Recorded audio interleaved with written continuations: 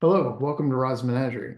Today I'm going to be working on a Sphero R2D2 that I have that I've had for years and the battery died and would no longer uh, hold a charge. So I've been looking for a replacement online, finally found one on Amazon. Uh, Sphero, for some reason, I've don't know why, haven't actually looked it up and don't care to, but they no longer make this the droids, this one, the BB-8, etc.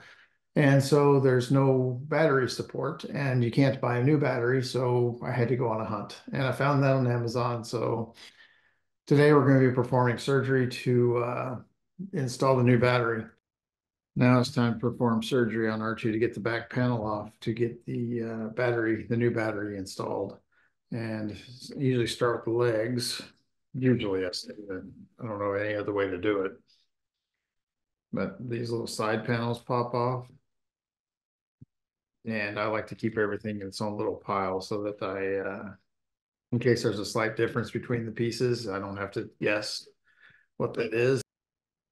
There are four screws per leg, uh, one large center screw, then uh, three out on the outside. And you do need to take out all four to loosen the legs. They just slide right off and uh, just leave them dangling by the wires. There's nothing to unplug and uh, just they'll be out of the way.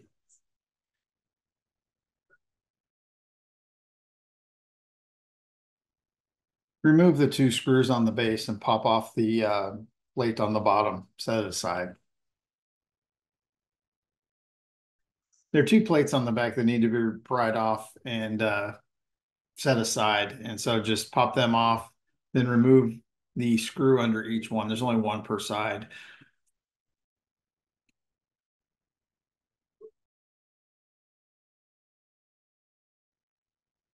Now the back panel will pop off. Uh, I had to pry it a little bit and pull, but uh, it will come off and uh, just set it aside.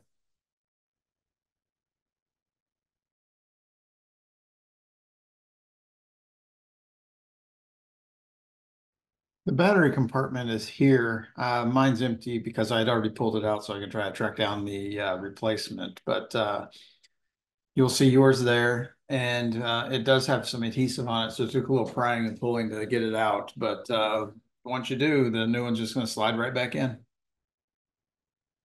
The first thing I'm going to do is cut the connection off of the old battery. I'm making sure to leave enough.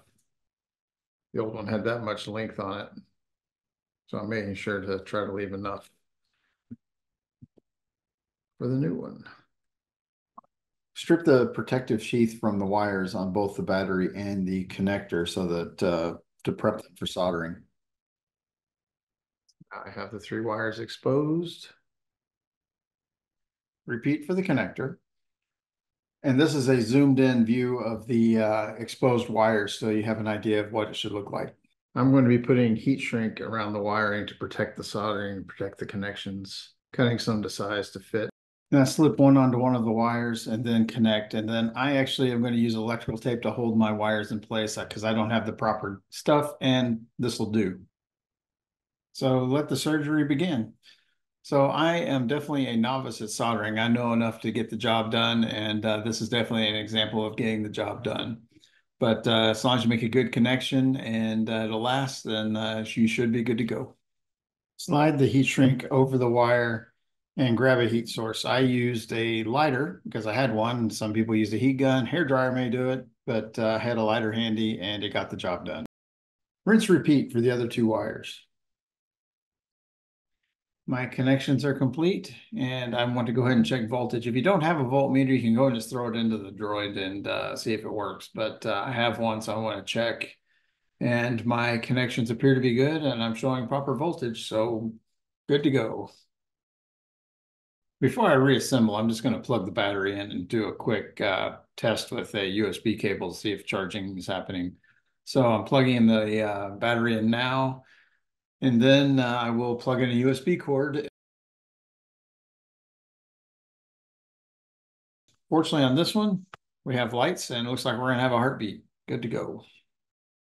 As you can see, this battery is much smaller than the original and I wanna find a way to get this mounted securely. I have this felt adhesive I'm going to use because the battery is so much smaller, I need to wedge it in there. And it's just happens to be something I have lying around the house. Uh, anything should do, but uh, I'm just going to attach it to this like so. And then press it in there and it's it's holding. Time to plug the battery in and then run the wires over the top where the three little slots are. You can see the pegs in the uh, video, but uh, my solder points were in an unfortunate spot. I was still able to get the back cover on, but just a little bit over, a little bit longer would have been much more helpful.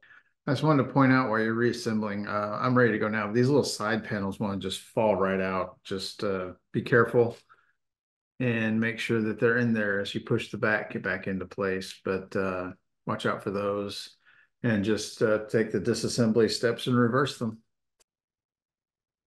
R2 is back together and now it's time for the good old app test.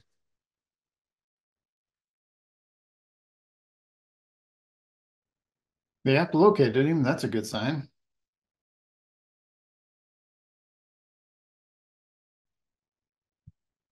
Hit confirm and we are able to connect and time for some drive tests.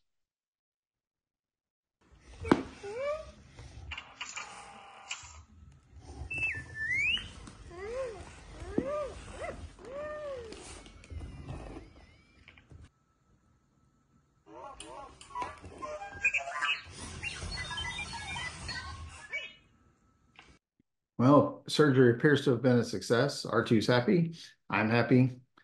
I uh, tested him out a little bit, as you've seen, and things seem to be working well. I will uh, put a link to this in the description for the battery I used. And other than that, thanks for watching.